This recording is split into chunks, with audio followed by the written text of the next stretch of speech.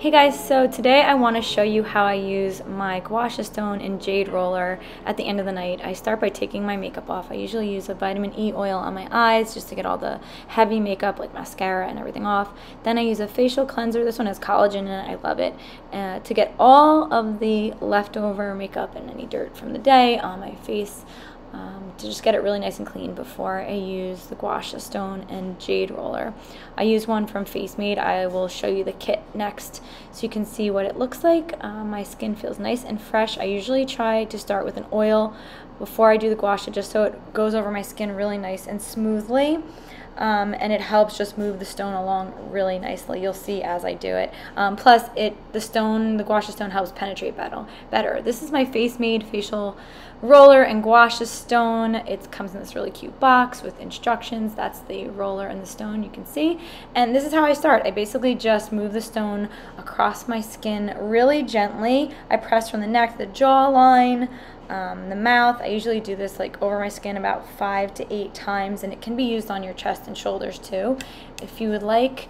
Um, and you can just feel that it, it removes puffiness, helps the lymph circulation, relieves muscle tension, relieves fatigue, helps firm the skin, reduces wrinkles. And if you have dark circles, it's really good for that too because um, it gets the blood flowing and out of your face. So I love doing this at night because I wake up in the morning with really glowy, pretty skin. Um, I do it gently over the eyes. You'll see the stone has a different um, part to it where you can kind of put it under your eyes. And then I do it on my forehead to work on some of those fine lines as well.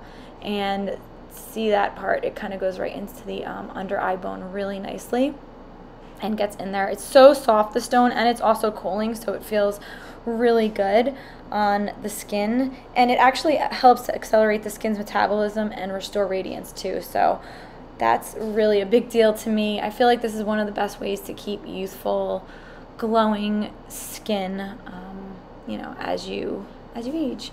This is the jade roller, and then I do this next, and I move in an upward um, position starting from my neck. I do this several times. I love the way jade roller feels on my neck. It just like smooths over so nicely, and you can actually feel like any of that like liquid or anything in your in your um, under your skin kind of moving up and out of the lymph nodes. So um, it's it's really really amazing feeling for for the skin. I also have the oil on my neck too, so it kind of helps glide the stone jade roller over really nicely. Always work from um, inward and go outward. And then the smaller end I use under the eyes to roll that out. And then I go move up to my forehead, over the eyebrows, and um, in the middle there where like you get those 11 lines. I hate them.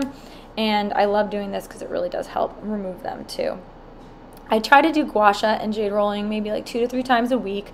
Sometimes I do it more just because I like the way it feels. You can kind of like lay down and meditate too if you don't want to do it in your bathroom. But overall, it really makes your skin glowy and just like feel amazing and products apply so much nicer once you've done this.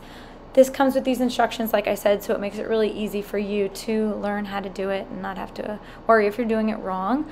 Um, they're easy to follow and it comes in this perfect little kit. Hope you guys like this and maybe try it out. Leave a comment below. Thanks. Bye.